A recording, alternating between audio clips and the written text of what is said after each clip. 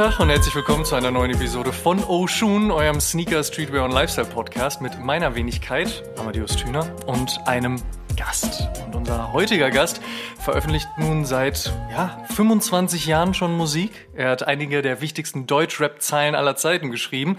Seine Interpretation von Reggae, Soul, Funk und auch Rock hat er nicht nur in die Charts, sondern auch auf die ganz großen Bühnen gebracht und ist heute, hands down, das muss man so sagen, einer der ganz großen deutschsprachigen Künstler unserer Zeit. Dafür gesorgt hat eine Mischung aus Kreativität, Spaß, Haltung und sicherlich auch Style. Die FAZ sagt ihm einst eine natürliche Lässigkeit und eine durchaus angenehme Coolness nach. Ich würde ergänzen, dass Jan Delay einfach weiß, wie man float. Er liebt Sneaker und Chelsea Boots, Caps und Anzüge gleichermaßen und das wahrscheinlich alles nur, weil es am Ende des Tages eben um Style geht. Oder darüber sprechen wir auf jeden Fall, unter anderem und auch über seine Karriere. Die ist nämlich durchaus beeindruckend. Jan, welcome to the show. Moin, vielen Dank für diese schönen Worte. Wenn du an deine Zeit als Heranwachsender zurückdenkst, mhm. welcher Style hat dich mehr interessiert und gecatcht? Der von Udo Lindenberg oder der von Public Enemy? Der von Public Enemy. das kann ich so, also das kommt so schnell, wenn du jetzt, wir reden von Äußerlichkeiten, ne? Ja, genau. Also wie man ja, sich ja. angezogen hat, wie die genau, Klamotten genau. aussahen. Ja, so halt. äh, sofort. Also, das Ding ist natürlich, dass ich ähm, Udo zuerst kennengelernt habe, muss man fairerweise sagen weil als ich, also das war das erste, was ich selber entdeckt habe, was nicht aus der Plattenkiste meiner Eltern kam und ähm, da war ich sechs. Und da geht's noch nicht so sehr um Äußerlichkeiten, obwohl doch schon, ich habe Trio und Nena auch über ihre Klamotten und sowas wahrgenommen, doch stimmt. Aber ähm, das war jetzt, dann sagen wir so, äh, äh, Udo hat mit allen Sachen gepunktet, aber nicht mit seinen Outfits bei mir. okay. Ähm, oh, äh, also ich liebe seine Outfits, aber das ist einfach nicht, das ist seine Welt, das ist nicht meine Welt. Ja, gerade als Heranwachsender äh, ist das wahrscheinlich dann ja, nichts, genau, was einen so unbedingt bekommt. Ja, ja, genau, ne? genau. Das ist, ähm, da fühlt man sich, keine Ahnung, da, da, hat, da hat dann sowas wie Nena oder Trio, die haben da schon noch einen anderen Esprit gehabt, glaube ich, einfach. Von den Farben und von, ne, so von dem, was damals angesagt war. Ähm, aber äh, alles andere bei ihm ist einfach so unfassbar geil gewesen, hat mich so ins Mark getroffen, dass es da auch völlig egal ist, was, das ist auch schön und wichtig, dass es völlig egal ist, was derjenige anhat oder anhatte. Aber wusstest du jetzt abseits von dem Plattencover und vielleicht dem, was man so im, im Booklet, im Inlay, Gatefold gesehen hat, darüber hinaus, wie Udo Lindenberg aussieht, wie er performt und macht und tut? Oder war es wirklich nur eine Welt, die sich über die Musik gebaut hat? Das war eine Welt, die hat sich über die Musik gebaut. Ich habe das dann ziemlich schnell erfahren. Es war halt erstmal so, ich weiß noch genau, wo das war. Ich war im, bin mit meiner Tante und meiner Oma äh, in, nach Sylt gefahren und ähm, wir waren auf dem Autoreisezug oben im Auto. Da sitzt man im Auto, aber sitzt halt da und fährt auf dem Zug über den Hindenburgdamm, übers Meer, übers Wattenmeer. Und dann haben wir, hat sie, die, hat sie das Tape reingemacht. Und ich, was ist das denn? Und das waren, der Witz war, die ganzen Songs, die ich so abgefeiert habe und die ich kennengelernt habe, die waren da auch schon zehn Jahre alt.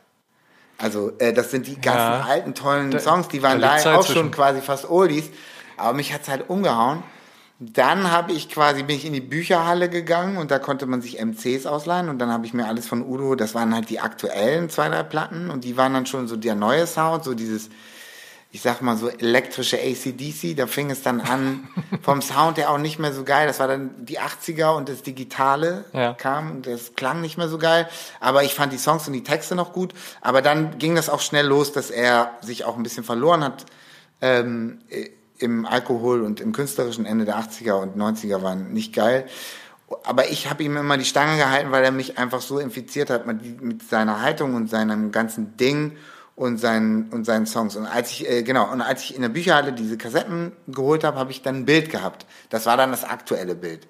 Ähm, und das war schön, ein Bild zu haben, aber das war jetzt nicht so, dass mich das irgendwie von den Klamotten her oder so in irgendeine Welt geholt hat, wie wenn ich ein Prince-Album in der Hand hatte oder ähm, oder dann eben irgendwann Public Enemy, weil mit 10 kam dann Rap und da, das ist dann halt wirklich, das war ein Run DMC, Walk This Way und das hat mich umgehauen. Ich habe erstmal nur es gehört, Gott sei Dank.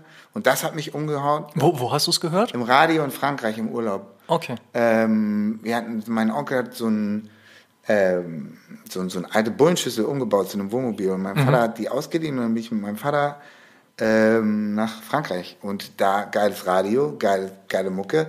Meine Eltern haben nie Radio gehört. Wir haben immer nur die aufgenommenen Tapes gehört im Radio. Aber wenn wir in Frankreich waren, dann haben wir immer Radio gehört, weil da war geile Mucke. Das war echt so. Okay. Naja, und dann lief halt Walk This Way. Ja. Und ich habe nur gedacht, was ist das für ein geiles Schlagzeug und wie laut ist das? Ja. Und wie cool singen die oder sprechen die oder was ist das? Was ist das Geiles? Wie cool ist das? Aber es hat mich total abgeholt. Ich wusste ja aber nicht, dass das Rap ist.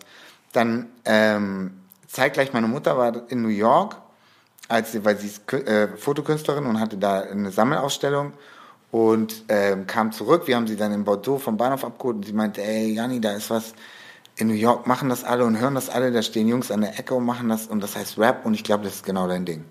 Und ich war zehn und wusste aber nicht, dass das, was ich eben gehört aber ich habe es mir irgendwie gedacht, dass das, was ich gerade gehört habe, auf dem Hinweg dahin quasi das sein könnte. Und dann war ich zu Hause und dann wieder und da habe ich Formel 1 geguckt und da waren Run DMC im Studio schon mit It's Tricky, also schon eine Platte später. Ah, okay, Walk ja. This Way war da wahrscheinlich schon ein alter Hut gewesen. ähm, und dann habe ich sie auch gesehen und dann habe ich den Style gesehen und dann die offenen Turnschuhe und alles einfach, wow, krass. Das hat mich dann gleich mitgeflasht mit den Beats und mit den Raps. Und Public Enemy, weil du eben nach Public Enemy gefragt hast, das war dann der, der nächste Impact, das war dann irgendwie zwei Jahre später, würde ich sagen mit zwölf oder so, bei WOM das Album mit Taxi Nation of Me to Back mitgenommen, da rausgeholt, aufgelegt, wo man anhören kann. Da konnte man die Platten dann anhören und gucken, ob man sich die kaufen will oder nicht. Das geht los mit den Sirenen, mit der Liveaufnahme aus London und ähm, das war hat halt, das war wie so, eine, so ein Urknall in mir drin. Und ich habe das ganze Ding durchgehört, gekauft, nach Hause, durchgehört, durchgehört, durchgehört. Und da kam der Style natürlich, das war Arsch auf Eimer, so Raiders Cap, Raiders Jacke. Wow, wow. Ich woll- ich wollte gerade fragen, so was Insignien, genau, aber weißt ja. du auch noch einfach die Insignien der Zeit und und Ja. alles einfach. Ähm, naja, das war, das war, so, so, die, die trugen alle he- heilige Gräle, die es bei uns nicht gab, hatten die alle an. Ganz abgesehen davon und äh, dass, dass, dass es ja auch gar nicht darum ging, das zu predigen, sondern die auch wirklich sehr gute Sachen erzählt haben. Und das hat mir und meinem Werdegang auch sehr viel gegeben. Natürlich 5000 Mal mehr als die Klamotten. Aber trotzdem sind deshalb die Klamotten immer auch ein Bestandteil dann bei mir gewesen, denke ich mal, weil es mir einfach wichtig war und weil nicht nur die Liebe für alles andere an Hip-Hop, für die Skills, für, für, für, für, für, die Kreativität, für das, für das Individuellsein und, und für das Rausstechen angezündet wurde, sondern eben auch für das, wie man sich außenrum äußert. Jetzt gab es die Sachen natürlich nicht direkt zu kaufen. Also das war ja gerade das un- Geile. Unser eins eben- könnte ja heutzutage, Ja, genau, aber damals ist ging das ja nicht. uninteressant. Also dieses ganze. Also war du, schon also das Ding, was dich da auch dann interessiert hat. Voll. So, wie komme ich jetzt an diese verdammte Raiders Jacket? Wo kriege ich die das Cap war, das her? war was das mit Ding. den Es ging um nichts anderes mehr. Wenn irgendwer nach Amerika geflogen ist, dann hieß es, ey, kannst du mir was mitbringen? So eine Levi's auf jeden Fall, immer, weil die haben da 20 Dollar gekostet Mhm. Ja. und dann hattest du die richtig krass, die ganz blauen, ganz neu. Dann auf jeden Fall irgendwelche NBA und NFL Sachen. Also an eine Jacke, an eine Starterjacke wollte man gar nicht denken, aber, aber ein Shirt, so Detroit Pistons oder Bulls oder Lakers oder so. Und ähm, das war das Game. Und ähm, sobald wir konnten, sobald wir irgendwie, also mein erstes, guck mal, mein erstes Paar Jordans, Vierer Jordans, das war sowieso als der Vierer Jordan, ich habe dann, ich war Gott sei Dank mit, mein Papa hat mich mitgenommen nach New York, er hat dann einen Film gedreht, da war ich 13, das war 89, genau als die Mauer gefallen ist.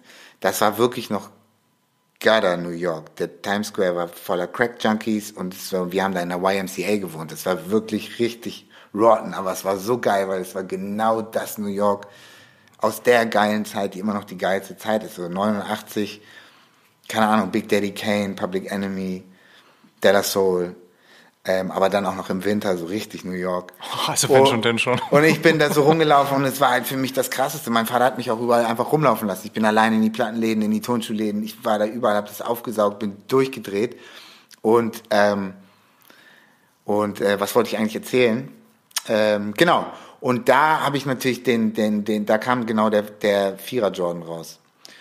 Und ich, oder war es der Dreier? Nee, ich glaube, es war der Vierer. war Der mit dem Vierer. Netz, der Vierer, Mhm. 89. Ja. Und auf einmal, dann habe ich mir da eben die ganzen, es gab ja Rap-Bravos da, es gab Rap-Pages und ähm, wie hießen die noch? Rap-Pages hieß das eine und dann, ich weiß nicht, ich habe mir sie alle gekauft und dann, dann Ice-T hatte diese krassen Schuhe an und dann die, äh, Ice-T war, glaube ich, der Erste, der sie anhatte.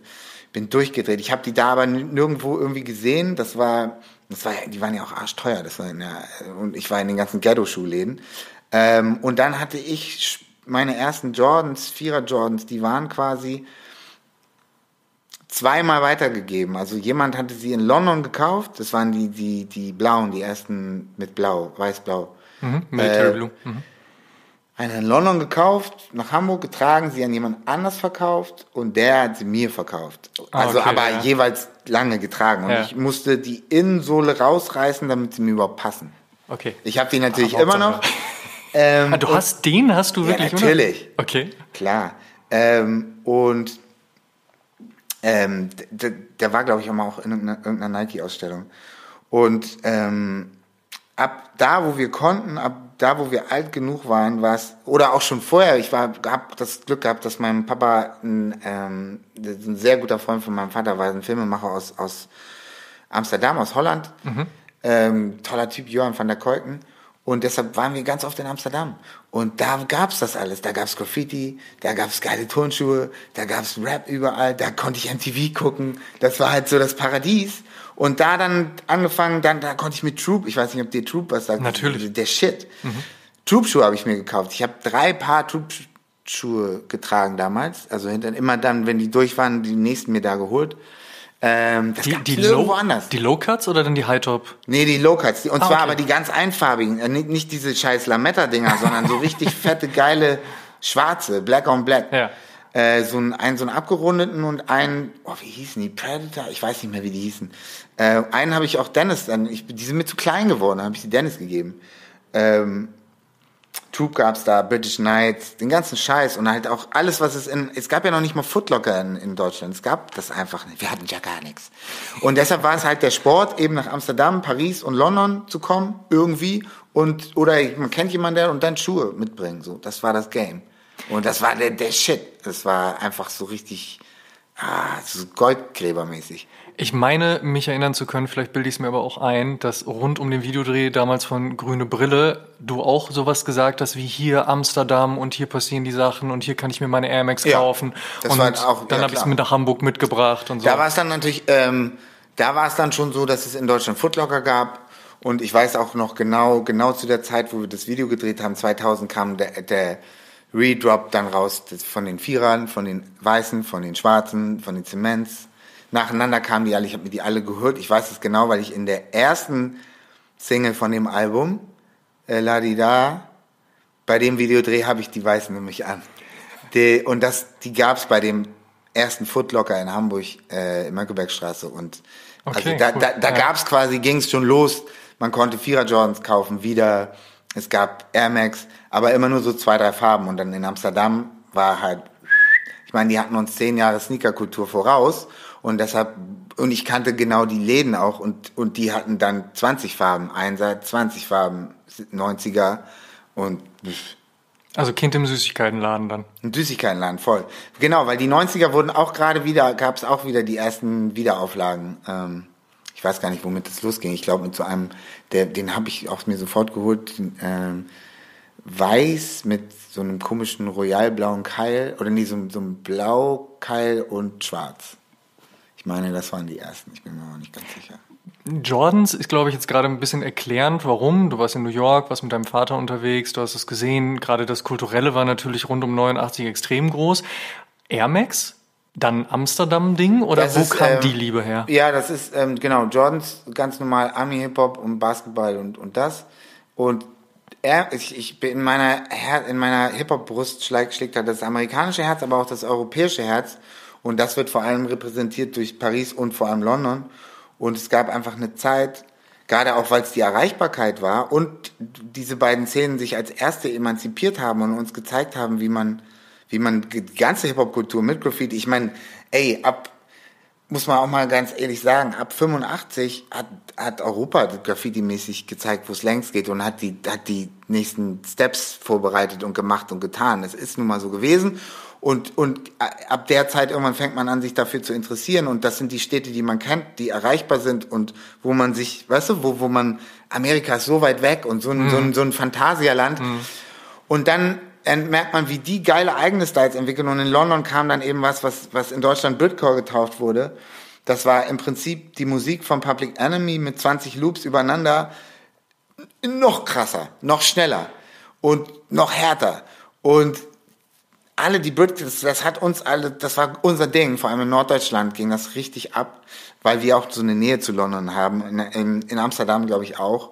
Und das hat einen ganz eigenen Style entwickelt. Und zwar so ein, ich habe dann immer sofort MC Duke im Kopf, das ist einer von den Rappern, aber egal, das ist so ein, so ein, so ein Style, halt so eine Goosejacke, also Lederdownjacke mit Fake-Pelzkragen, aber eng, teite Jeans oder am besten auch, äh, da, von da kommt das Ganze hier unten Socken oder Hosenkrempeln. Also, dass unten entweder ein Gummiband drin ist oder schon ein Gummizug, weil das eine Hip-Hop-Marke ist oder, also einfach dieses, dass unten die, diese Silhouette, dass unten das zusammenläuft. Aber jetzt auch nicht so ein Baggy-Pant, sondern so eine, so eine coole, normale Weite zusammenläuft. Das kommt aus London und aus Paris. Und, ähm, und zu dem Look gehört ein Air Max. Das war immer schon so und das wird auch immer so bleiben. Das ist so eine Silhouette. Und weil die einfach schnittig sind und die genau das haben. Und ähm, je nach Mut ist es, war es damals auf jeden Fall der 90er, weil der 90er noch dicker ist und noch gefährlicher. Schön gesagt. Und der Einser ist halt mehr, der wurde dann in den Nullerjahren so wichtig, oder weil dann die, die Baggies auch weg waren und die Röhrenjeans kamen und, und dann die ganzen Frauen den getragen haben mit den Leggings und es ist einfach, ich habe den Einser dann auch ab da lieben gelernt und mag ihn jetzt auch lieber als die 90er, aber so mit den ganzen Baggy-Sachen und mit, dem, mit den ganzen 90ern muss es auch der 90er sein. Der ist, gehört zu der Silhouette und, und Einser ist für mich eher dann Nullerjahre. Was für dich wichtig, dass es dann unbedingt so ein Infrared Air Max 90 war, nee, also null, OG Colorway oder dies oder jenes? Oder war es dann einfach das, was dich interessiert hat, was du gesehen hast? Oder war es überhaupt das nehmen, was man kriegen konnte? Das. Also äh, erstmal natürlich am Anfang das nehmen, was man kriegen konnte. Es gab ja sowieso immer nur einen Colorway, dann kam irgendwann ein zweiter, dann kam ein dritter, so fertig. Und ähm, ich hatte ja auch gar keine Kohle oder so. Man hat immer man hat immer ein paar Schuhe gehabt und ähm, dann hat man vielleicht nochmal sich eins geholt und nochmal und so und dann hat man so ein bisschen variiert, aber das, das, das war es dann so. Also dieses Ding von heute ähm, oder was du da gestapelt hast, das äh, sowas gab es gar nicht, wäre gar nicht gegangen, selbst wenn man Rich Kid gewesen wäre. Ähm, alles war ja nur in kleinen Stückzahlen und, und Variationen überhaupt da. Und dann wurde das immer größer und quasi parallel zu, zu, zu meinen Möglichkeiten, äh, äh, äh, mehr Schuhe zu kaufen, weil es äh, beruflich ganz gut lief, wurde, kamen auch immer mehr Modelle und kamen auch Modelle direkt nach Deutschland und irgendwann gab es dann Ebay und so und, und, und das ist quasi zeitgleich passiert. Und weg war die Gage. So. Und ähm, keine Ahnung, in München gab es dann Läden wie Mighty Weenie. Shoutout. Bei Shoutout auf jeden Fall, der, der einfach genau so ein Sneaker-Verrückter war und auch in den 90ern einfach dann in Berlin gab es die ganzen Läden, die sind dann da nach Amiland gefahren und haben dann in Kellern gestöbert, genauso wie die Plattendigger. Und haben riesige Auflagen von verschollenen Windrunnern. Meiner Meinung nach auch eine Schande, dass es den Windrunner nicht mehr gibt und dass der, der gehört genauso zu dieser coolen europäischen Silhouette mit der Downweste und den, den slicken Klamotten und der 90er Cap. Ähm, ist ein Windrunner genauso geil passend wie ein Air Max 90 oder ein 1er. Ähm, und es ist eigentlich echt doof. Den Windrunner, wenn irgendwie die nochmal einen neuen jungen Superstar sein, rapmäßig, der müsste eigentlich den Windrunner mal wieder. Ich glaube, da gibt's ganz viel, äh, vor allen Dingen im Nike-Archiv, wo sich Leute darüber freuen würden, wenn das mal wieder ja. käme. Gerade so Sachen, ja. die so Ende 70er, Anfang 80er veröffentlicht wurden. Aber wer weiß. Ähm, nee, lieber Ende 80er, Anfang 90er. Ich finde das eine geilere okay. Zeit ja. von, von den Designs. Irgendwie das andere ist mir zu, weiß ich nicht, das ist dann meistens zu unhip-hopig und zu unfett und zu tennismäßig oder laufmäßig. Oder genau, guter Punkt. Wenn wir schon in der Zeit sind, gerade so Mitten 90er, End 90er, aber wahrscheinlich eher Mitten 90er, die ganzen Basketball-Silhouetten waren ja durchaus abgespaced. Da gab es ja unfassbar viel mit, mit Colorways, wurde gar nicht so viel gebastelt, weil die NBA das ja damals noch gar nicht so erlaubt hat, ne? Aber. Ich habe, wo du das gerade sagst, ja. ich habe Quatsch erzählt. Mein erstes Paar Jordans waren überhaupt nicht die Vierer. Sondern? Mein erstes Paar Jordans waren die Original Einser Rot-Schwarz, die bei, neulich bei dieser Auktion für 37 Milliarden Euro weggegangen sind. Aber nicht der leider. Nicht der, sondern ähm, im Gegenteil. Die, ich habe Basketball gespielt beim BCJ und ähm, ich habe mir dann halt immer irgendwie irgendein cooles Modell geholt, irgendwas, was im Sonderangebot irgendwo war. Man hat ja auch immer ausgecheckt, wann, wo, wo was zu, äh, zu haben ist, bei welchem Karstadt oder bei den Pupsläden, die es halt gab, Görz. Und, ähm, und dann habe ich geahnt, bei Karstadt in Eimsbüttel Osterstraße gibt's den Jordan, den ich kannte vom Grandmaster Flash Cover in Gelb-Schwarz, in Rot-Schwarz. Ähm, also quasi den ersten äh, und äh, für 59 Mark. Und dann war meine Oma zu Besuch und dann habe ich sie so krass belatscht, wie man mit zwölf seine Oma belatschen kann. und dann ist sie mit mir mit der U-Bahn dahin gefahren und dann habe ich die bekommen. Wahnsinn. Und das Krasse ist, dann, das, ich weiß noch genau, es war Größe 37. Nee, Quatsch, muss größer sein. Meine, El meine Mutter hat, ich glaube, neun, es war Größe 39. Und wie das in dem Alter so ist, das hat man nur ein Jahr, die Größe. Und dann waren sie mir zu klein. Und dann habe ich sie meiner Mutter gegeben. Und sie hat die dann getragen. Und dann habe ich irgendwann mal so zehn Jahre später gefragt, ey, sag mal, Mama, die, die Einser Jordans, so, rares der Shit, das war die erste Auflage vom Einser Jordan, ne? Hier, was, äh, wo sind denn die? Ach so, ja, nee, die habe ich so aufgetragen, die waren irgendwie, habe ich dann weggeschmissen, die waren irgendwie so durch. Und ich so, das hast du nicht gemacht, das hättest du mir doch sagen müssen, das waren meine ersten Jordans, oh Gott, was hast du getan? Ich glaube, das geht vielen so, diese Geschichte, gerade mit solchen Schuhen, die dann halt irgendwann noch auf einem Dachboden gelandet sind oder ähnliches, die ja, verschwinden dann mal nicht. irgendwann. Ja, leider ja, ja nicht. aber dann irgendwann, wenn der Dachboden aufgeräumt wird oder der Keller, dann verschwinden die dann leider mal ja. mehr den Platz. Ja. Äh, sonst nicht so geil. Ähm, Air Max Thema 90er, hattest du schon gesagt, ist das, was dich am meisten da auch interessiert hat. Mm, und die Gagen. Ja, weil Jordan halt auch nicht, der war nicht erreichbar. War nicht so verfügbar, genau. Nee, gar nicht. Ähm, die Gagen wurden besser, passenderweise. Weißt du noch, was du dir von der ersten größeren Gage geleistet hast? Vielleicht war es auch nicht mal ein Turnschuh, aber wo du zumindest dachtest, so, okay, das ist jetzt wenigstens nicht ganz so schlimm, wenn ich mich damit sozusagen belohne. Kannst du dich da noch dran erinnern? Also ich weiß noch genau, was die erste große Gage war, die wir mal gekriegt haben, aber ich überlege gerade, ich weiß nicht mehr, was, was ich mir davon geholt habe. Vielleicht ein, genau, mh, hm, nee, die hatte ich da schon an. Da gab es nämlich den ersten Einser bei, ähm, so ein, so ein Re-Edition Einser, das war so 6, 6, 96, 97, ähm, den blau-weißen. Aber den hatte ich da schon. Nee, ich weiß nicht, was ich mir davon geholt habe. Ich, ähm, ich weiß, also so ganz Klischee, äh, Ami-Film-mäßig habe ich, ähm, aber nicht, weil es so ein Klischee-Ami-Film ist, sondern weil es einfach so war und weil es mir ein Anliegen war und es einfach gepasst hat, äh, von, dem, von dem ersten Kohle, die wir gekriegt haben für Bambule, ähm, habe ich meinen Eltern ihren Kredit bezahlt, den sie aufgenommen haben, weil, wir, weil sie ein Haus gebaut haben. Also eine Scheune umgebaut haben. Und ähm, dann habe ich denen das quasi, habe ich die da rausgekauft. Das ist leider jetzt viel zu sympathisch, ja, ich dachte, jetzt kommt, naja, Rapper-Klischee-mäßig habe ich mir erstmal einen Benzer gekauft. Nee, aber das ist doch, nee, nee, das ist eigentlich das Rapper-Klischee. Eigentlich erstmal, ja, ja, eigentlich erstmal wieder zurückgeben in die ja, Familie. Ja, genau. Okay, aber dann, als du das getan hattest und mal auf die Kacke hauen da wolltest, für dich wirklich, persönlich, das war genau die Zeit, pass auf, es war exakt genau die Zeit, wo ich Geld verdient habe, das erste Mal in meinem Leben, war die Zeit, wo auf einmal die Dreier Jordans rauskamen. Hier weiß, schwarz, grau. Ich, alles klar, ich nehme alle. Äh, und dann vom, vom, vom, den 97er gab es ja auch noch, der war damals auch voll am Start, den habe ich ganz vergessen. Ja, dann nehme ich auch drei Farben und die auch noch und das auch noch. Und dann habe ich mir all das, so alle nur noch Kopf geschüttelt. Ja, ich habe mir die ganze Scheiße geholt, die was nie ging ähm, und habe es mir erfüllt. Genau das. Ich habe echt Turnschuhe gekauft, wie ein Bescheuerter. Rest auch, also Jacken, Caps etc. Gerade so Caps ist ja auch ein Riesending ja, bei aber dir. Nicht, aber nicht so exzessiv wie Schuhe, muss ich okay. einfach mal eingestehen. Jacken, ja. Jacken, ähm, ja, aber dann kam ja auch noch, dann kommt es ja auch noch zusammen, dass man zwar quasi genau zu der Zeit, wo das dann geht, so der Teufel scheißt immer auf den größten Haufen, kommen dann auch die ganzen Marken und fangen einem an, Sachen zu geben und so. Ja, dann durften wir auf einmal Ähm, das war so geil. Wir hatten die Chance, als allererste, unser erstes Sponsoring oder Testimonial-Ding, wo wir uns aussuchen durften, war Starter. Die hatten damals in Bremerhaven, gab es eine deutsche Sportfirma, die hatten die Lizenz und die haben da über, über England, über den Seeweg, den ganzen Scheiß gekriegt. Und wir haben uns alle Yankees-Jacken geholt.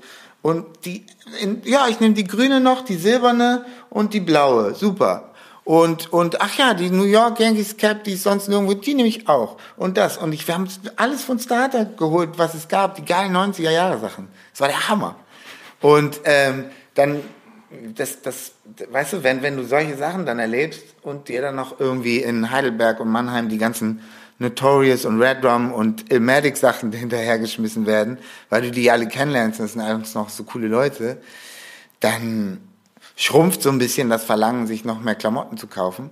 Dann sind auch so viele da, aber bei Schuhen, äh, erstens hat mir die keiner hinterhergeworfen und zweitens, ähm, äh, zweitens hätte ich sie mir trotzdem gekauft wahrscheinlich. Aber dann hatte ich eben das Glück, dass dann auch noch irgendwann Friends of Nike gegründet wurde. Und ich meine, ich habe so viel für, für Nike auch äh, marketingtechnisch getan. Ich habe ja sogar einen Song damals auf Styliger gemacht. Ähm, und, und die haben sich dann bei mir gemeldet. Shoutout an Johannes Bethke.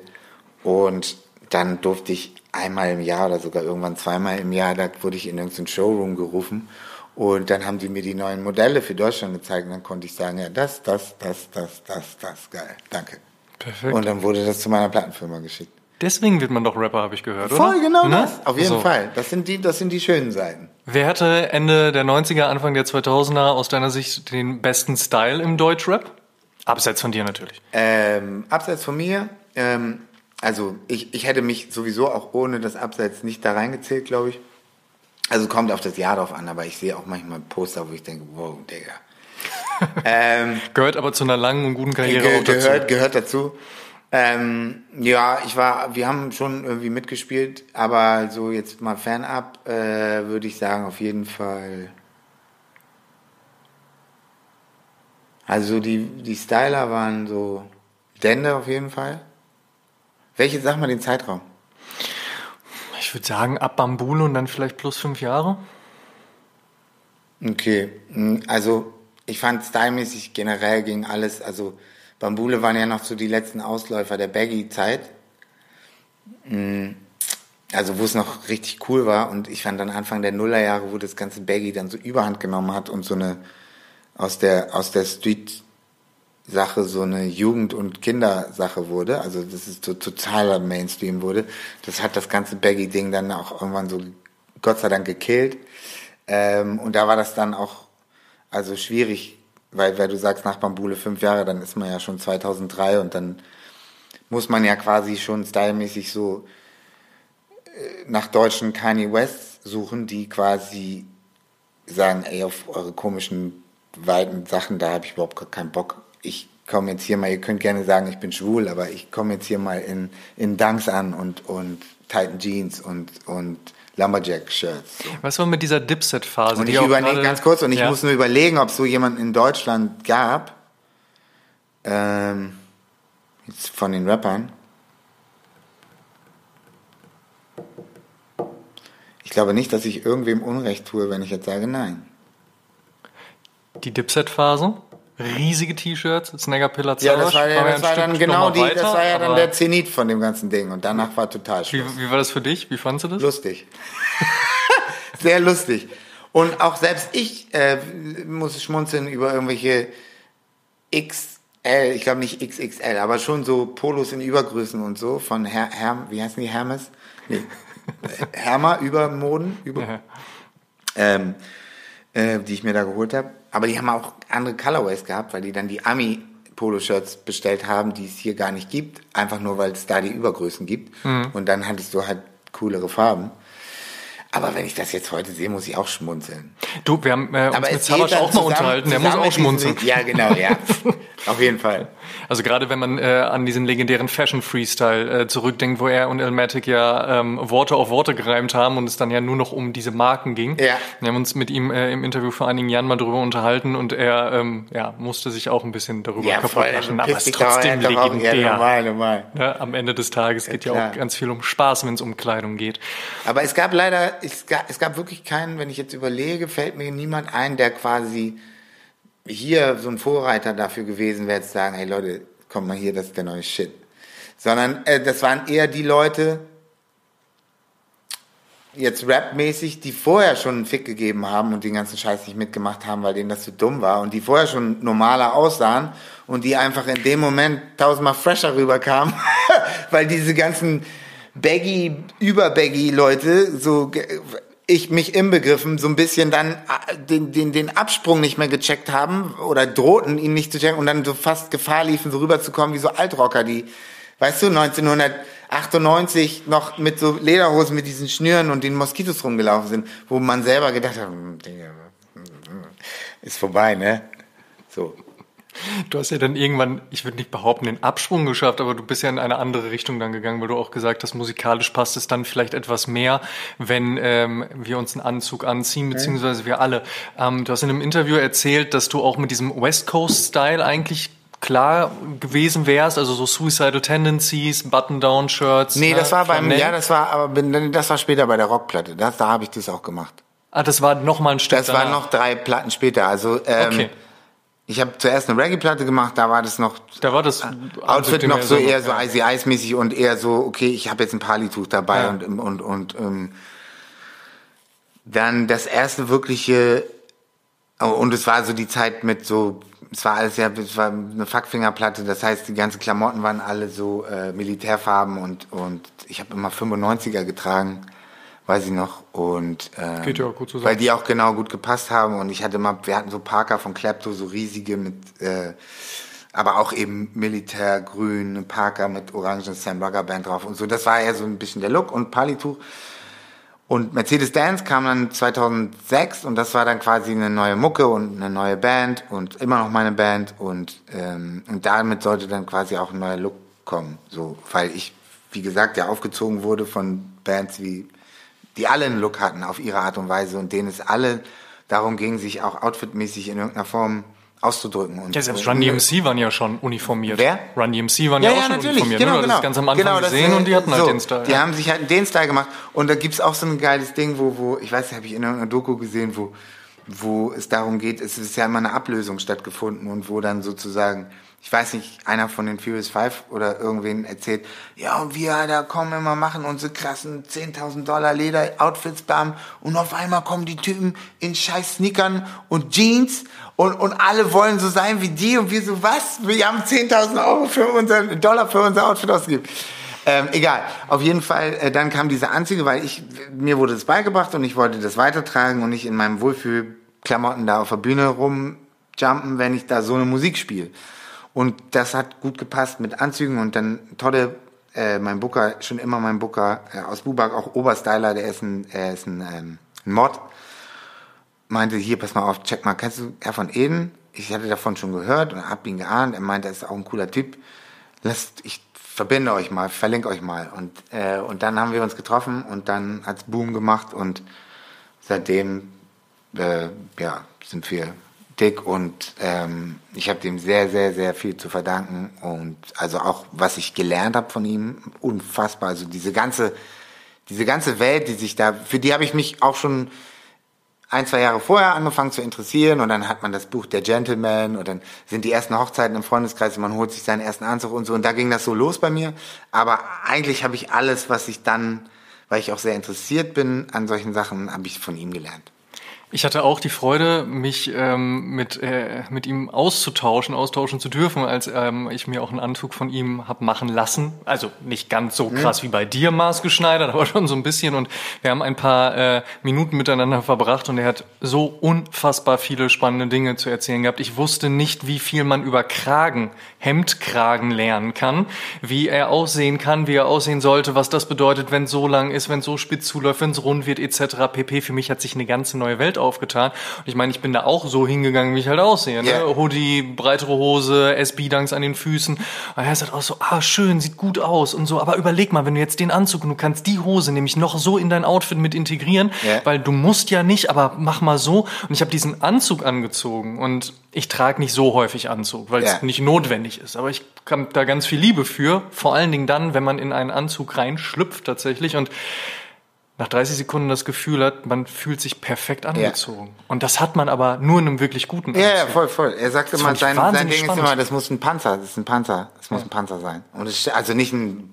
Rums, Pum, Pum, Pum Panzer, sondern halt wie ein Ritter. So. Eine ja. Ritterrüstung. Ja. Und das stimmt, das ist genau das Ding. Gerade für dich, der darin ja auch zu performen hat ja. und dementsprechend ja auch nicht nur fünf Minuten auf einer Bühne steht und sich nicht nur zwei Meter bewegt, sondern da halt wirklich auch viel drin passiert. Gerade da muss natürlich auch die Qualität stimmen und auch das Wohlfühl das Wohlfühl, ich habe das leider, ähm, ich habe das ja bei mir auch, also ist ja eh gut, das Mode evolutioniert sich ja sowieso und ich habe dann bei mir, ich war auch viel zu dogmatisch früher und habe dann halt der Bequemlichkeit geschuldet äh, mich da geöffnet. Ich war dann am Anfang, okay, ich komme hier im Anzug auf die Bühne, ich muss Hemd, Krawatte, Lederschuhe, das geht auf gar keinen Fall, darf man Turnschuhe zum Anzug tragen, auf gar keinen Fall darf ich eine Cap zu einer Anzug tragen, auf gar keinen Fall. Und ähm, habe das zwei Alben durchgezogen und sieben Jahre Touren. Dann kam die Beginner-Tour, neue Beginnerplatte und ich war wieder in Turnschuhen auf der Bühne und in bequemen Sachen und in Turnschuhen. Ich habe nach dem ersten Beginner-Auftritt habe ich gesagt, ich trete nie wieder in Anzugsschuhen auf. und ab da habe ich dann ab dem ersten Jan Delay-Auftritt, der quasi parallel zu den Beginnersachen kam, habe ich, hab ich Turnschuhe getragen. Hab mir dann immer welche besorgt für live, die halt quasi so, ah, damals waren es Roshi Runs, einfarbige. Ich hatte den schwarzen Anzug an, schwarze Roshi Runs, super. Sieht man von weitem noch nicht mal, dass das kein, dass es Turnschuhe sind. Und so habe ich das gehalten und genauso obenrum ähm, ich habe dann die Platte danach auch trotzdem noch wieder äh, Hemd und Krawatte, aber dann und so, nee, Alter, ich, ich will das jetzt bequemer haben und bam. Und dann, ich hatte eh Bock, keinen Bock mehr auf Krawatte, auch vom Look her nicht. Und dann habe ich Shirt und am Sakko. Ey, und das ist so befreiend, das ist so geil. und ich werde halt, ich schwöre, ich habe schon zur Band auch gesagt, ich werde nie wieder auf live nie wieder Hemd, Krawatte und Lederschuhe tragen. Ich bin mir sehr sicher, ihr findet da eine gute neue Lösung. Auf jeden Fall haben wir ja schon gefunden, deshalb ist äh, alles gut. Ich werde nur nie wieder zurückkehren, weil es einfach, wenn du das einmal anders gemacht hast, denkst du, ey, bin ich bescheuert? Ist für dich ein großer Unterschied? Also, oder ganz ja. kurz, Entschuldigung, das hängt natürlich auch damit zusammen, was ich auf der Bühne mache und wie ich mich bewege. Und für andere ist das völlig cool, die einfach irgendwo stehen oder chillen oder locker sind. Aber bei mir geht's die ganze Zeit flummimäßig und das hält, das ist einfach scheiße dann. Gute Zwischenfrage, die mir dadurch äh, einfällt gerade. Wie viele Anzüge hast du dann auf so einer Tour mitgenommen? Gar nicht so viele, weil es ist Qualität.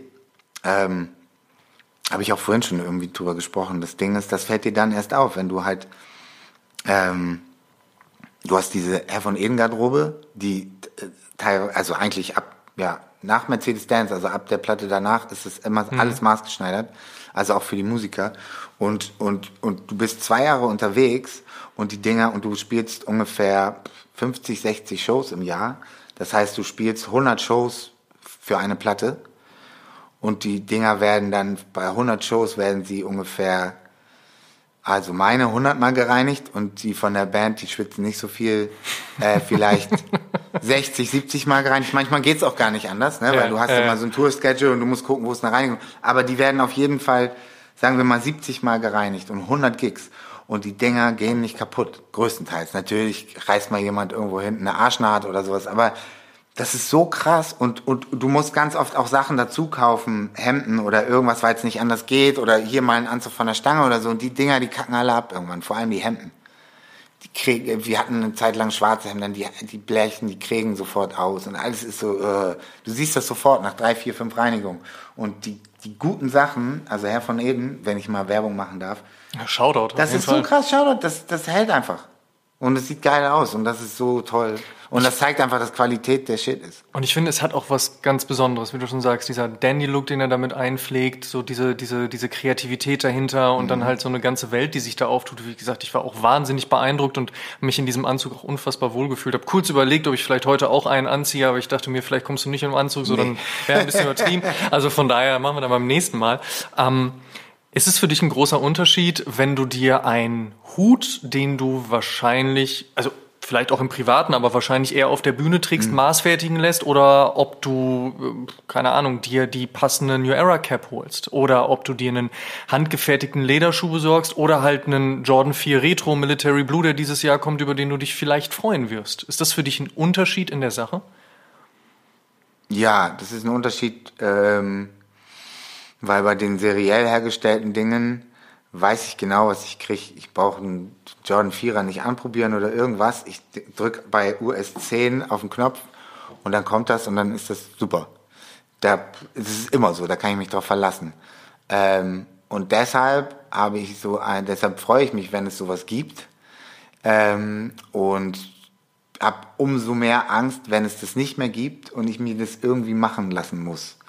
Ähm, Beispiel Hut. Ich habe quasi damals zu Mercedes-Dance dann geguckt, okay, ich brauche äh, für meine Fleischmütze, das ist irgendwie nicht geil, ich brauche was obenrum für einen Anzug. Ähm, ich will auf jeden Fall, weil das ist mein Style und meine Mucke und Kultur, wo ich herkomme, die Krempe muss hochgehen, alles andere ist peinlich. Ähm, und die coolsten Hüte tragen die Chicanos ähm, aus LA und, und, und ähm, Rocky. Und letztendlich, also so der Style, ne? Und, ja. und, und die Leute in Kingston und damit die Jamaikaner in London. Und das ist genau der Style mit der Hutkrempe hoch. Und dann habe ich halt geguckt, wo gibt's die? Natürlich nur in Amerika. Aber damals ging das schon mit Ebay und bestellen und dem ganzen Kram. Und das, da habe ich zwei Läden gefunden, die hatten, da habe ich mir dann den, der hieß auch wirklich Lowrider oder Rocky. Da kriegt man, was man Da kriegt man, was man will. Und dann habe ich sie mir in allen Farben bestellt und dann auch gleich nachbestellt, als ich die schon verschwitzt hatte. Aber dann auf einmal gab es sie nicht mehr. Nur noch in schwarz. Und dann habe ich jetzt, ich habe immer noch mein, meine zwei blauen, meinen einen, also den roten ziehe ich niemals an, aber dann so ein hellgrauen, so ein, die, die, sind so die absoluten Schätze, weil ich weiß, ich werde die nie wieder kriegen. Es gibt diese Hüte einfach nicht mehr. Aber das ist quasi das Original und die sind so perfekt wie ein Jordan 4, wo ich einfach weiß, weißt du, die sind so hart und die, die, die verknubbeln auch nicht. Die sind so mhm. krass. Und bisher hat es, also Shoutout an meinen Hutmacher De Vries ähm, aus Hamburg. Aber auch er, er ist der Erste, der überhaupt daran gekommen ist. Aber das Material ist dann nicht so so krass robust oder so steif. Also der, der ist viel anfälliger so. Er kriegt es hin von der Silhouette, aber es ist nicht das. Und das ist das Gemeine, wenn man dann, wenn du gefragt hast, etwas Serielles hat halt, oder was industriell äh, hergestellt ist, hat so eine blöde Sicherheit.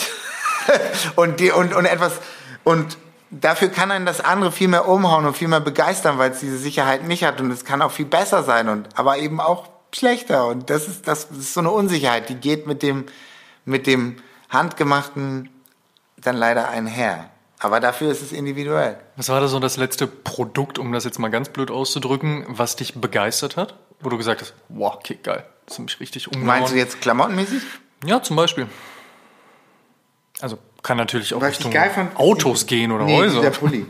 Also wenn es um Klamotten geht, dieser ja? Pulli, weil ich habe, ähm, okay. ich mag Hoodies und es gibt nicht viele gute Wollhoodies und ich hab, war in LA und ähm, bin da in der, in der Melrose Avenue. Ich war noch nie in LA und war das erste Mal da und musste natürlich Melrose Avenue, weil ich wusste auch, dass da dieser Strip ist mit den Sneakerläden, wo quasi die Preise der Welt äh, bestimmt werden. So, das ist so, so die Wall Street. Ähm, und fand es auch sehr geil, das Game da mit, wo, wo ich, ich habe noch nie einen Sneakerladen gesehen, wo, wo, wo gebrauchte Sneaker verkauft wurden und quasi aber genauso äh, weißt du, so, so, naja, fast noch wertiger rüberkommen als, als irgendwelche neuen Drops. Ähm, und da war ich auch in so einem Laden und äh, ich, oh shit, nee, es war nicht, es war nicht Melrose Avenue, es war Abbott Kinney in Venice. Und da war so eine Boutique und auf einmal sehe ich da diesen Pulli und den fand ich voll geil. Und das ist so eine Boutique, die machen das selber und verkaufen das da und das gibt es auch nirgendwo anders und, und sowas finde ich geil wenn man dann sowas findet, das fast findet man super und es, irgendwie man mag das voll gerne und das gibt's nirgendwo anders und man hat es zufällig selbst entdeckt. Das ist immer das Schönste. Das äh, stimmt. Das ist wirklich immer ein schöner Moment, vor allen Dingen, weil man auch so eine Art Urlaubsmitbringsel hat und eine Erinnerung an eine Zeit. Genau. Ja? Also Und es- kommt ja auch noch dazu. Genau, und, es, und, und Marke und all so ein Scheiß ist komplett egal und irrelevant. Ich würde dir gerne ein paar Fotos zeigen, die ich äh, zusammengesucht habe von deinem Instagram-Account. Mhm. Denn netterweise hast du anscheinend nie was gelöscht. Ich bin bis 2014, glaube ich, Ja, genau. sogar noch weiter zurückscrollen können. Der erste Post, glaube ich, so eine Vierer Jordans, die, die Cavs Vierer Jordans, Fakt. wo ich zum Splash war. Fakt. Ja. Kommen wir eigentlich auch noch zu. Ich würde dir das gerne einmal in die Hand geben. Ich habe sie mir aber nur geholt, weil es meine, weil es die New York Knicks Farben sind eigentlich. Also für mich ist es New York Knicks. So, ich gebe dir das einmal in die Hand. Ja. Ähm, erzähl mir noch mal kurz ein bisschen was zu diesem Outfit. Also Herr von Eden. Ähm, wir haben quasi, als es darum ging, äh, oh, ich kriege schon wieder eine Krise bei den Dellen im Hut. Das ist genau das, was ich meine, weißt du? Ich habe das. Also das ist dir das Material, ist dir da nicht stark Das ist genug. De Ah, ja, ja, Props klar. an De Vries, er ist der Beste, aber das, Ding ist halt hundertmal aufgetreten und dann noch nach L.A. geflogen und Las Vegas, dann kommt nun mal so eine Dellen und weil das Material eben so ein bisschen weicher ist als der Filz, den meine geliebten Original-Rocky-Hüte haben, äh, da würde das nicht passieren. Und da passiert es dann, wenn es feucht wird oder was auch immer. Egal.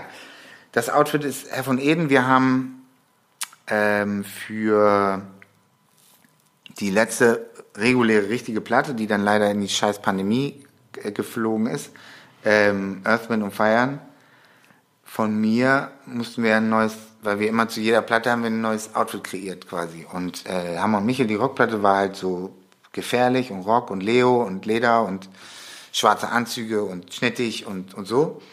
Und die neue Platte war halt total frei und positiv und, und ähm, Passend zum Thema. neuer Sound und so.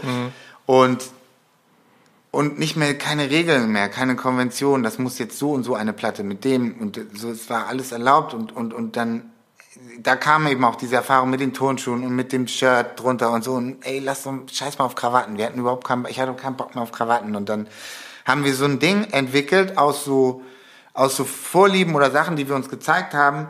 Äh, Miami Vice war ein Ding, ähm, weil eben Shirt überm Sakko, das war noch, das war noch ehrlicherweise bevor die ganzen Sportstudio-Moderatoren mit ihren Shirts unterm Sakko kamen und den Turnschuhen dazu. Ähm, und das andere Ding war immer noch das Glamouröse und so Wall Street. Band kam mit den Hosenträgern und meinte, hier, Wall Street, das ist auch geil. Und, und dann Ich finde auch mit diesem, mit diesem Bund an deiner Hose, weil das ist ja kein Kummerbund. Genau, das ist, so. äh, da kommen wir gleich zu, da kommen wir gleich Okay, zu. weil das finde ich nämlich Herr auch von. Eden. Ähm, so, und da haben wir einen, einen Stil kreiert, der hieß, den haben wir, äh, hat er Miami Dandy genannt, weil wir das quasi, beides haben versucht zu fusionieren. Miami Weiß und so einen generellen Dandy, New York, sonst was Look. Mit dem, die abgesetzten äh, Krägen, das liebe ich auch. Und er auch. Ähm, und die hier. So, und ähm, so haben wir die Band, hat er dann die Band eingekleidet und ähm, hat die Hosen selbst, also es eine, alles eine Einzeleinfertigung, dann die Hemden dazu und dann dieses geile Silhouette. Und ich fand, die Disco Number One sah noch nie so geil aus wie diese Garderobe. Und deshalb habe ich zu ihm dann gesagt, ey, wenn das Best-of kommt, wir müssen da irgendwie dabei, wir können jetzt nicht was ganz anderes oder von wegen Best-of 25 Jahre alle im Smoking und das haben wir eh schon alles hundertmal gemacht. Und wir müssen das weiter evolutionieren. Und dann hat er meinte, ja, okay, wohin fährst du? Las Vegas? Okay, alles klar, bam. Und das Geile ist, was äh, viele Leute vielleicht noch nicht wissen, er hat den krassesten Move im letzten Jahr gemacht. Ähm, sein Hersteller in, ich will nichts Falsches sagen, Bulgarien oder Rumänien, seine Fabrik hat dicht gemacht.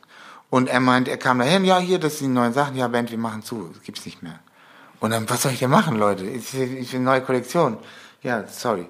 Und dann hat er einen Geistesblitz gehabt und hat einfach diese ganze, er meinte, was ist mit den Maschinen? Ja, pff, keine Ahnung, niemand will die haben. Und hat die ganzen Maschinen, alles gekauft, den ganzen Inhalt dieser alten Fabrik, das alles nach Hamburg schippen lassen, hat da in seinem, in einem alten Hamburger Industriebau mit so einem riesigen Lastenfahrstuhl, wo unten sein, seit, seit er das macht, ist da sein Stofflieferant ist unten in dem Haus. Der hat ihm oben die Etage gegeben.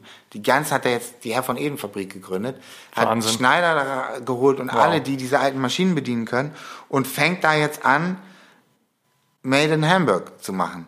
Und deshalb kann er, und das ist jetzt das Next Level, er hat quasi, er ist, er, er kann dieses Miami Dandy Ding will er jetzt noch äh, weiter ballern und indem er sozusagen an die bunten Hosen, die wir schon in der letzten Saison hatten, eben diese geilen abgesetzten Velour-mäßigen, die wie Wildleder rüberkommen, aber natürlich vegan sind, äh, äh, abgesetzten Stoffe zu machen und auch bei den bei den Sakkos hinten ist dir vielleicht aufgefallen, das gab gibt's jetzt schon seit ein paar äh, Generationen bei ihm, dass da hinten so geile abgesetzte Samtstoffe oder Ja, so bei, mir sind. in, bei, bei mir in so einem wunderschönen Bordeaux.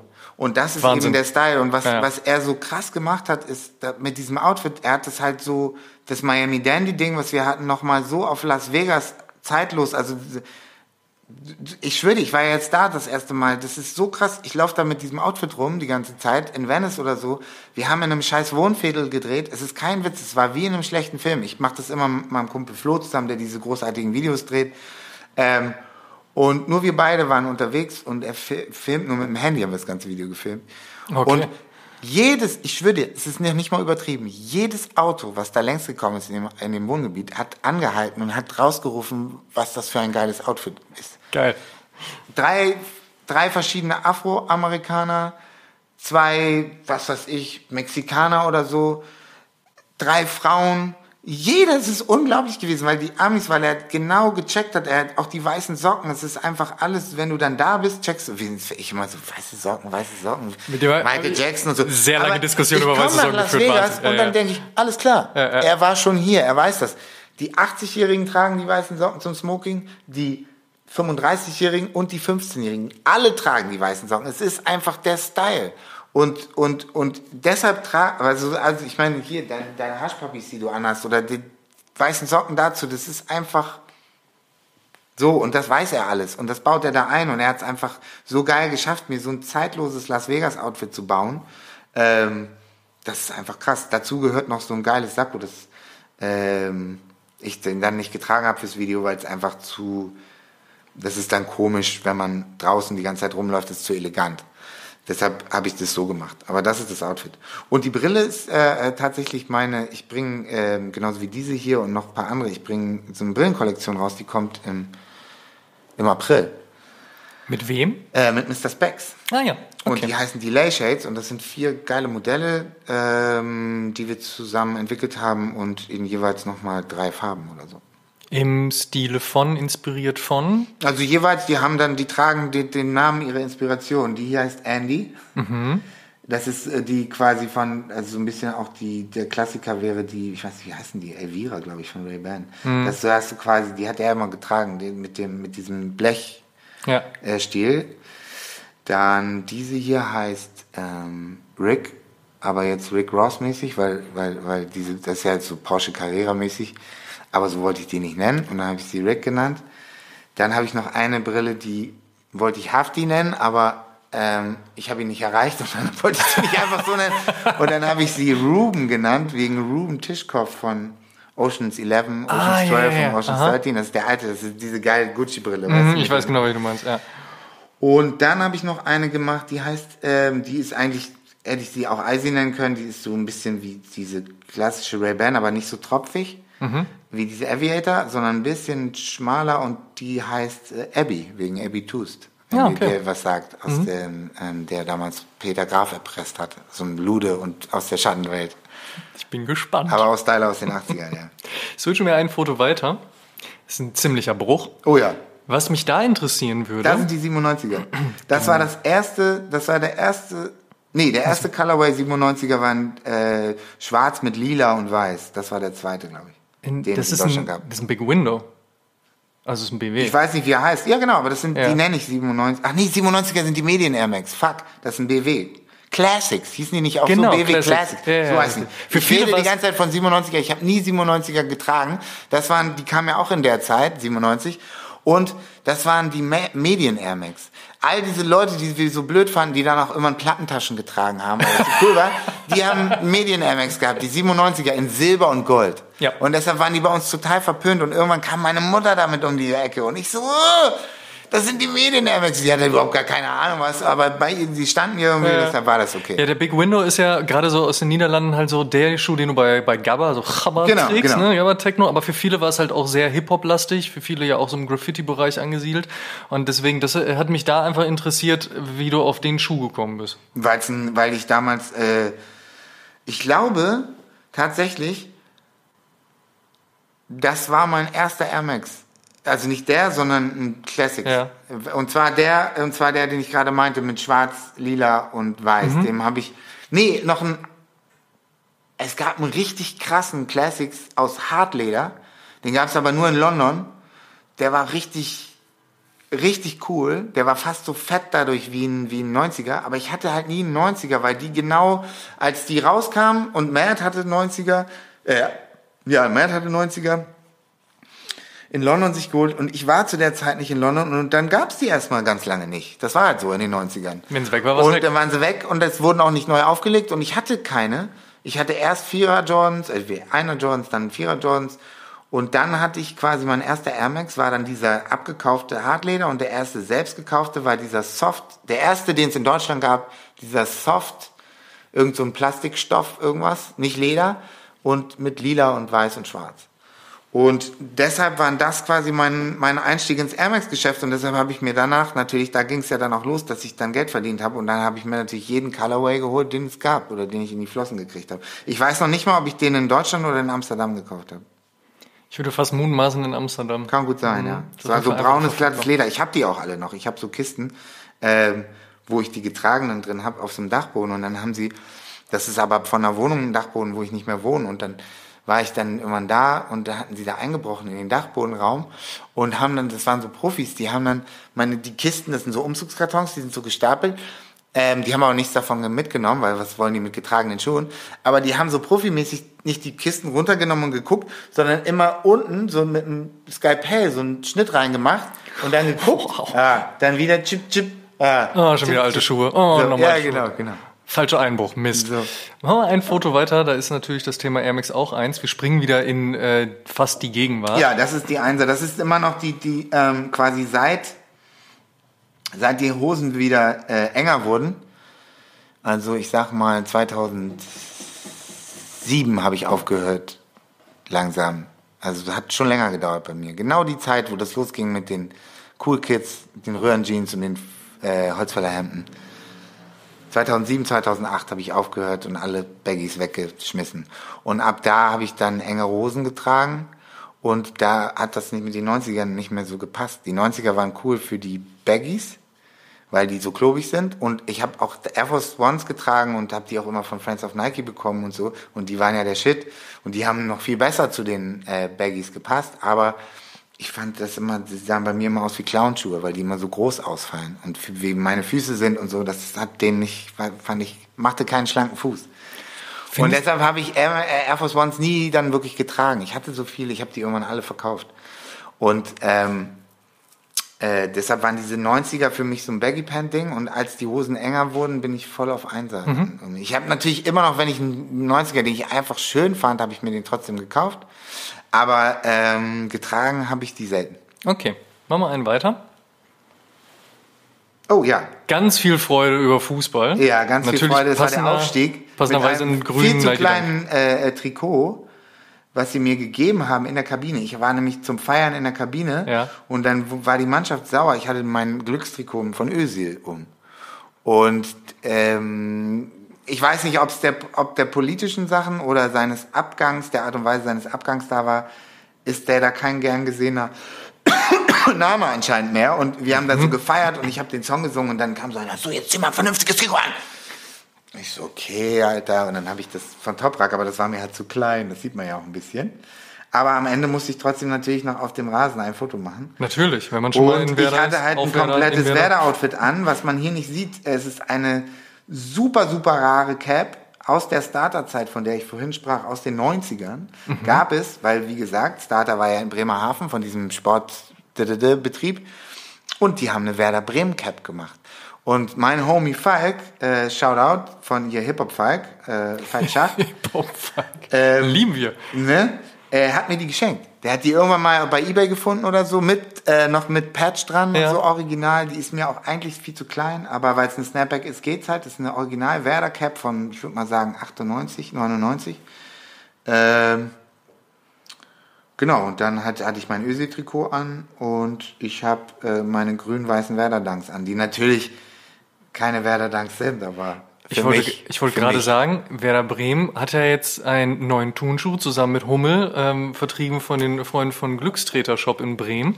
Ist das was, was dich dann interessiert, nee. dass es einen, einen, Sneaker deines Vereins gibt sozusagen? Nee, gar nicht. Ist nicht bin, so deins? Nee, ich bin da, da hört es bei mir auf. Also ist es wirklich so, ähm, auch wenn Fat Joe irgendwie sagt, ey, was pisst ihr mich an? Ich bin Sneaker Collector, ich will diesen Trump-Schuh haben. Das Trump ist ein Arschloch, aber ich will den Schuh. Und ich habe dafür nichts bezahlt. Ähm, da bin ich nicht so, ich finde den Schuh hässlich.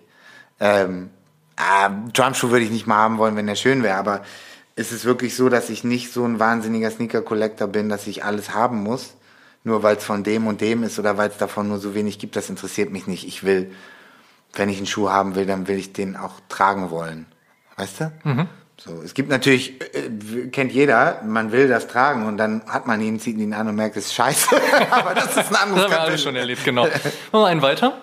Das sind Schuhe, die du selbst designt hast. Spannenderweise natürlich Adidas und Nike zusammengebracht. Das, was viele schon mal versucht haben, schaut an der Stelle an Till Jagler. Äh, in unserem Interview hat er erzählt, dass mal sein großer Plan war, als er bei Adidas gearbeitet hat, die Brands zu vereinen. Ja. Und zwar zum Tag der, was ist es dann, Tag der Liebe, Tag der Freundschaft, irgendwie sowas. Mhm. Äh, du hast das dann im Rahmen eines Kunst-Charity-Projektes gemacht. Genau, die wollten einfach, dass ich, die hatten 50 Adidas-Schuhe und haben mich gefragt, ob ich mitmache. Und ich so, hey, die Adidas-Schuhe kann ich doch nicht machen. Und dann, ah, warte mal, doch, stopp, stimmt. Vielleicht hat Dallas das sogar selber vorgeschlagen. Meinte, ja, machst du halt einen Swoosh drauf. Ich sehe, ja, geil. Weiß ich nicht mehr. Aber das war mein Design. Weißt du noch, für wie viel der weggegangen ist in der Auktion? Keine Ahnung. Jemand wird sich auf jeden Fall darüber gefreut Ja, auf jeden Fall, bin ich mir sicher. Einer der einer meiner, der schönsten. Ich wollte es gerade sagen. Einer, also sorry, wenn ich dir ins Wort falle. Nee, ich glaube, wir wollen wirklich, dasselbe sagen. Also es ist, ich würde sogar sagen, es ist der schönste Einser, den es jemals gab. Ich finde, an diesem Einser ist alles perfekt. Atmos Elephant. Äh, Atmos Elephant, genau. Mhm. Ähm, äh, und zwar ist alles deshalb perfekt, weil es gibt so viele Arten und Weisen, wie ein Einser ausfällt aufgrund der Materialien, aus denen er ist. Und es gibt auch gewisse, äh, ähm, keine Ahnung, trotzdem noch gewisse Shapes, die einfach anders sind. Also diese ganzen, äh, ähm, äh, sag schnell, äh, pa, pa, Pada, Pada, Pada, Pada. Mhm äh, äh, Shapes, die Wave. diese Waves du? haben, ja, ja. die sind viel schmaler. Oder weißt du, irgendwelche Wildleder-Einser mhm. sind viel schmaler und steifer oder äh, irgendwelche äh, äh, ähm, mit, mit Mesh sind, passen sich mit meinem Fuß viel geiler an und haben viel mehr so eine geile Hip-Hop-Silhouette, weil sie einfach dehnbarer sind oder so. Und bei diesem Schuh ist es halt einfach so, die Materialien sind so schön und so perfekt und trotzdem da kein Mesh drin ist, sondern die alle eher fest sind, ist die Silhouette so perfekt. Mhm. Und die Farben und alles ist da drinne, was geiler Style ist und da ist so viel, ah, es ist so, das ist der Inbegriff der 90er, was du da siehst, aber gleichzeitig so zeitlos und das macht es so genial und das macht es zu dem besten Einser, den es je gab. Gutes Statement. Danke sehr. Wenn wir uns ein weiteres Bild als, anschauen. Als geil ist, ja. ich habe die damals im gab es die im Doppelpack. Ja, mit, mit, dem Jordan. Mit dem Jordan. Und ja. das ist der hässlichste Dreier, den es je gab. Der ist so schlimm. Das ist nämlich genau das Gegenteil. Alle Materialien, die Silhouette ist scheiße und nicht so, wie Dreier eigentlich gehören. Durch das Wildleder und das ist so aufgeblasen und wirkt wie ein Clownschuh. Die Farben sind nicht cool. Es ist alles, was hier perfekt ist, ist bei dem das genaue Gegenteil. Ist so krass. Ja, wegen 50-50 aus dem Ich habe den auch noch nie getragen, werde ich auch nie. Okay. Was ich bei dem Bild spannend finde, da trägst du halt den Military 4, das ist mein von dem du erster Jordan, natürlich hast. nicht in der Version. Was ich aber spannend finde tatsächlich, ist, dass Udo Lindenberg On-Running am Fuß hat. Und das ja. Foto ist ja nun mal wirklich auch schon ein paar Jährchen alt. Ja, das ist, äh, äh, ich, ich, ich, ich finde On-Running ganz schlimm.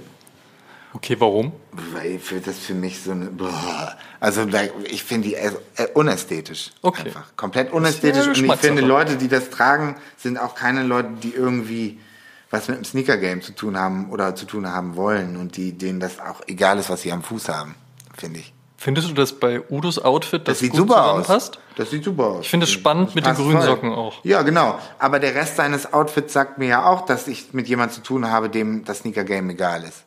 Da, da gebe ich dir durchaus recht. Ich würde Udo Lindenberg jetzt nicht zwangsläufig als Sneakerhead bezeichnen wollen. Nee, genau, genau. Wahrscheinlich aber auch das, ich meine auch obenrum, das sieht man ja am, weißt du so, am ja. Outfit. Und das meine ich einfach. Und das, äh, das passt voll super und ist cool. Aber ich werde niemals diese Schuhe tragen. Ich habe auch gesehen, mein Vater hat sich auch solche geholt. Und denke ich, was ist denn los? Die sind auf jeden Fall sehr bequem. ist mir egal. Okay, mach mal einen weiter.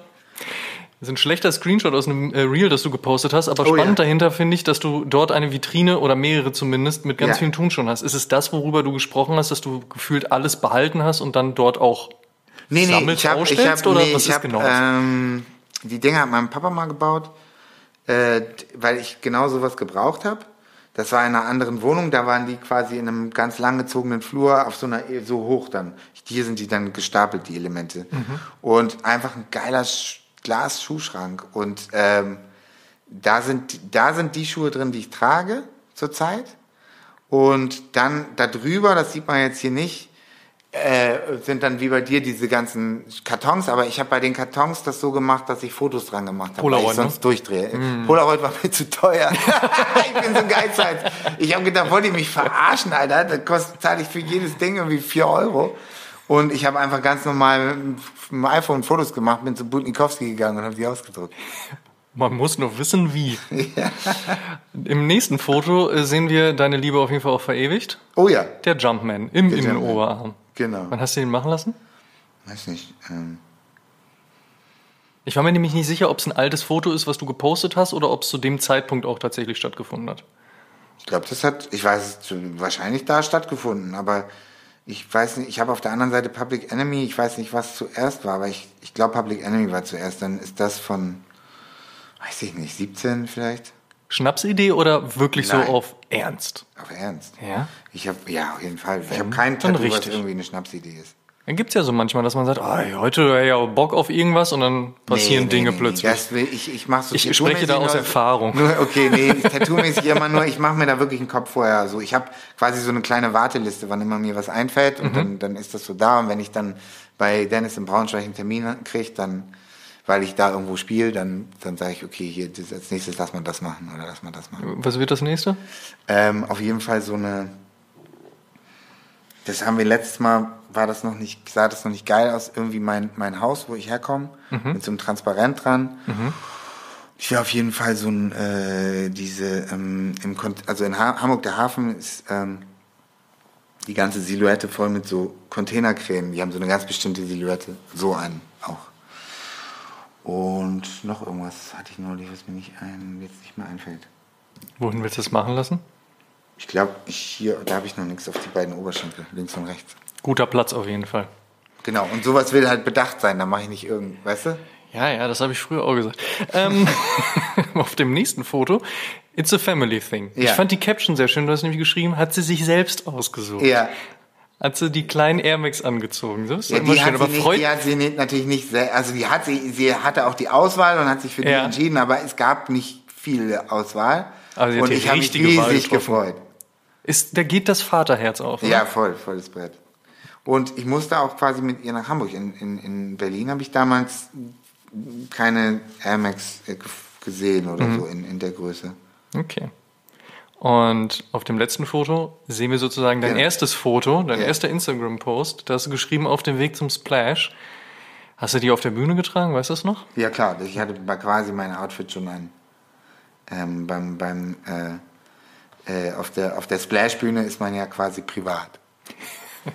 In seinem eigenen Wohnzimmer sozusagen. Ja genau, nee, nee, ich meine nur, da ist nichts mit Anzug und, und so. Gibt's irgendwas, und ich meine, da draußen passiert ja mittlerweile extrem viel. Ne? Es gibt ja unfassbar viele Releases, 600 Stück plus im Jahr. Man kommt gar nicht hinterher. Gibt's irgendwas, wo du drauf blickst und sagst, oh, den hätte ich noch ganz gerne, beziehungsweise da hätte ich Bock drauf? Ja, auf jeden Fall. Ähm, ich ähm, bin aber sehr schlecht in, in so Namen, in diesen Modellnamen kann ich das, ähm, also es gibt, ähm, ich finde tatsächlich, also ich konnte nie was mit den ganzen Off-White-Sachen anfangen, aber es gibt diesen einen beigen Vierer, ich meine, das ist ein Off-White auch, Ja. ne? Der ist auch nicht so spackig und nicht so, der ist irgendwie geil, da stimmt alles. Den finde ich richtig toll. Den habe ich mal in einem schöne neue Welt, da war ich in München in so einem Luxuskaufhaus, in so einem Ballhuber oder wie das dann heißt, so ein Trachtending, lodenfrei, lodenfrei, glaube ich, egal. Und dann haben die da auf einmal einen, so ein, wie diese, diese Luxuskaufhäuser haben doch jetzt immer so kleine Markenstores in ihren Dingern drin. Und dann hatten die da auf einmal einen äh, äh, Soul, sag schnell, ähm, Soulbox Filiale da drin und da stand der und ich fand ihn geil, aber der sollte irgendwie, was weiß ich, vollkommen geisteskranker Preis. Da habe ich gesagt, nee, ich bin nicht bescheuert. Ja, der ist recht teuer auf jeden Fall. Aber den, den finde ich schon geil. Und dann diesen anderen Vierer, der ähm, noch mit diesem Past auch beige, aber mit diesen Pastellfarben noch drin ist. Ähm, der hat auch ein bisschen einen anderen Shape. Ein bisschen kompakter. Du weißt doch bestimmt, wie der heißt. Oh, ich weiß gar nicht, ob der jetzt gerade einen besonderen Namen hat, ehrlicherweise. Aber du weißt, welchen ich meine. Den hatte ich zum Beispiel in Marokko, gab es den, mhm. weil ich letztes Frühjahr, da gab es den in jeder, äh, da, wenn in Marrakesch, da in den ganzen kleinen Buden, wo du jedes Modell, was gerade angesagt ist, für 30 Euro kaufen kannst. Da hatte ich den auch in der Hand und dachte ich, oh nee, das sind ja alles Fakes. und die sind aber, das sind gute Fakes. Aber dann dachte ich mir, nee, komm, scheiß nicht, das ist doch blöd. Wenn es ein Kleidungsstück gäbe, mit dem du bis ans Ende der Zeit auskommen müsstest. Und ich meine jetzt nicht im Sinne von, ich brauche eine Hose, weil sonst sehe ich irgendwie nackt aus, sondern eher im Sinne von, da hängt mein Herz dran, an dem Schuh, an der Cap, an dem Anzug. Gibt es da so ein ganz spezielles Piece?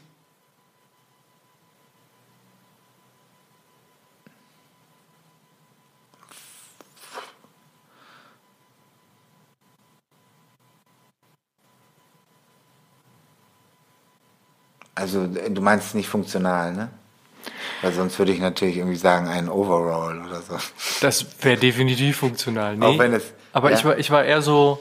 Du meinst aus meiner eigenen, von meinen eigenen Sachen, die ich Ja, es gibt ja, es gibt ja auch so Dinge, an die man sich dann zurückerinnert. Na, den, den Schuh oder den Anzug, den man zur Hochzeit getragen hat. Oder zur Geburt der Tochter. Oder Ja, aber das, das- erste nee. Mal auf einer großen Bühne oder auf einer besonders kleinen. Oder Genau, aber da wenn man damit Show, einmal ne? anfängt, da gibt's tausende Sachen. Und dann hörst das du meine ich halt, genau, auf, da ne? kannst du nicht, Mhm. nee, da kannst du nicht eine Sache so sagen, ähm, nee, das musst du anders machen, da musst du irgendwie, was ist die, die beste Schuh aller Zeiten, was ist die beste Jacke, was ist Ja, die bitte, was ist der so. beste Schuh aller Zeiten?